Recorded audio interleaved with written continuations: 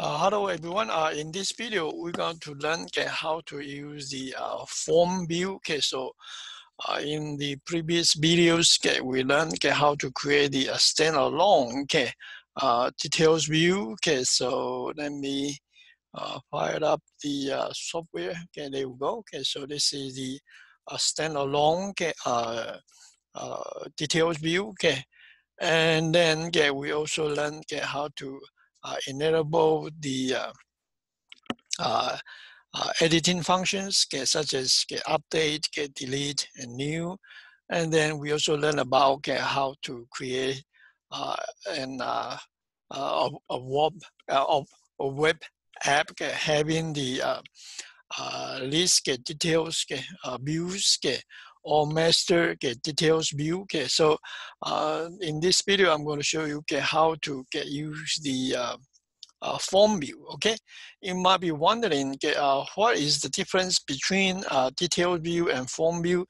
They are pretty much the same, okay, but then from the uh, PowerPoint slides okay, here, you can see that okay, the detail view control renders okay, each uh, field is a table row. Okay, so product ID, one row, product name, one row, get a short description, da da da da da. da. Uh, each one is uh, one row get in the table. But then for the form view, okay, this will be the example. Uh, it uh, renders okay, all the fields, okay, all the fields okay, in a template okay, is a single table row. So actually this one is a single, okay, single table row, okay? Yeah, single table row, okay? So let's see okay, how to use the uh, form view, okay? Standalone form view, form view. So let me close okay, all those apps, okay? So let me save the change, okay? Save it, save it, all right. And then okay, let me again select the same solution, okay? Uh, you can create a new one if you want to, okay? I just try to save time, that's all okay, click add a new item and make sure it's web okay, application, web form, okay, and then you can change the name if you want to. Okay, I will just use a default name. Click add, and then I'm going to switch to the design view. Okay, and then I'm going to type okay, how to uh, use the uh, uh, form view. Okay, form view control. Okay, All right, okay, and then uh, again, uh, make sure that uh, you your uh, toolbox is available to you. If it's not, no big deal. Go to View, okay, go to View from the menu bar, and then select the uh, uh, toolbox. Okay, so okay, yeah, there you go. Okay, make sure you pick the toolbox, and then okay, use the data category. Okay, then a drag and drop an instance of the form view. Okay, form view and then we have to uh, configure the data source. Okay, so you can see that uh, form view display all the uh, column information or fields information okay, in the data table in one row. Okay, this is what it look like. Okay, so let me construct the uh, data source. Okay, so again, it is uh, uh, is an SQL database. Okay, so uh, let me select the same connection string. Okay, there we go, the same database. Click next. And let me use the uh, products table.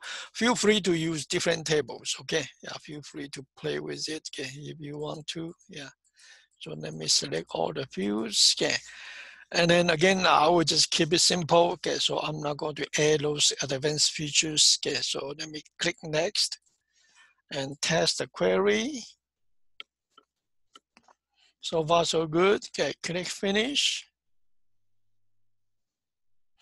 Okay, and then uh, again, okay, uh, let me enable the uh, uh, paging later. Okay, and then I might want to do a little bit formatting. Okay, so let me see. Uh, yeah, anyway, uh, professional, so far so good. Click apply, click OK, and then increase the width a little bit. Let me run it. Yeah. So the browser is up. So you can see that uh, this is a standalone okay, uh, form view, okay, control. And then you couldn't pick the next item. Uh, the reason is that okay, I hadn't enabled the uh, uh, paging function. Okay, so let's enable the paging function. Okay, so uh, click the uh, arrow sign okay, to uh, let us get access the enable paging feature. Okay, so enable that one. Okay, so you will automatically add the uh, last row. Okay, uh, add one row here. Okay, uh, to show the item numbers. Okay, so let me uh, run the app again.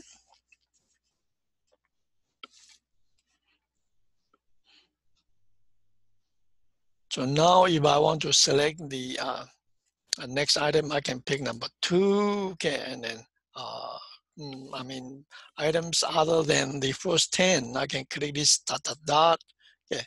And then again, okay, I can pick item number 18, okay, so uh, once it's selected, the underscores, okay, hyperlink will be gone, okay. So this is the uh, standalone, okay, uh, web view control. Again, okay, if you compare with the uh, details view control, okay, you can see that the details view control uh, display data in okay, uh, put uh, field in one row, okay, yeah, okay, in one row, but the form view control display okay, uh, all the fields, okay, all the fields okay, uh, in the table, okay, in one row only, okay, yeah, so that is the uh, one of the main differences, okay, yeah.